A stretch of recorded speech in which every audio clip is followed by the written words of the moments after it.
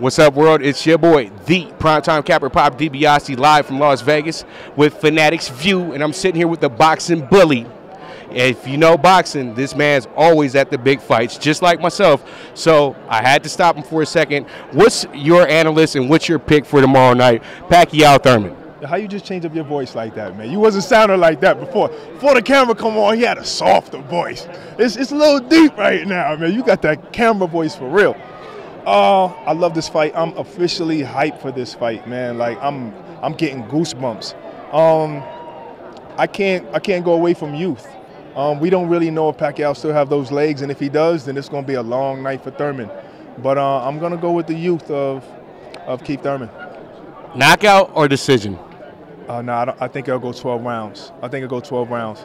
And, but if Pacquiao's smart, he'll go to that body. Keith been a little sensitive to that body with other fighters, but I think he probably came in this fight 110%. So it's going to be a war. It's going to be a war in there.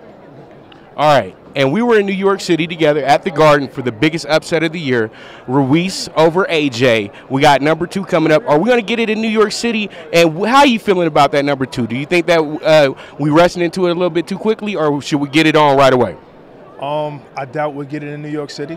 That would be nice, you know what I'm saying? You lose your championship there, you go back there, you know what I mean? But I'm not mad if they do it in the UK. But I think when you when you lose like that, you get right back on that horse.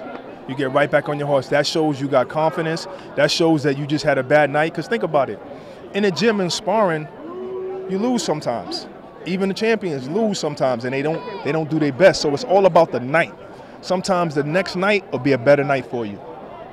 And you heard it here from the boxing bully himself. I can't hold this man too long. He's a busy man, but I thank him so much. You guys catch him on DAZN. He got one of the best shows when it comes to boxing. And also follow his Instagram at Boxing Bully so you can stay informed about boxing. It's your boy, Pop DiBiase, and this is Fanatics View.